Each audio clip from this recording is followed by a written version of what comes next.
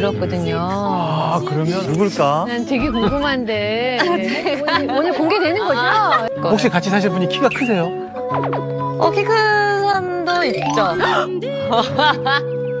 어떻게? 네네.